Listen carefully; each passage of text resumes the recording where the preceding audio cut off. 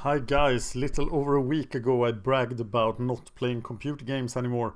That is no longer true. My um, friend Kim gave me Left 4 Dead 2 on my birthday and I finally got it started on Steam.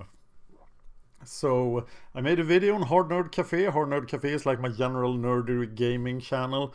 Pretty inactive except for the Hard Nerd Cafe podcast which is in Swedish. But now there will probably be a couple of Left 4 Dead 2 videos on there. I also made a magic video for that channel today. So playing computer games again apparently. If you have played Left 4 Dead 2, let me know what you think about it.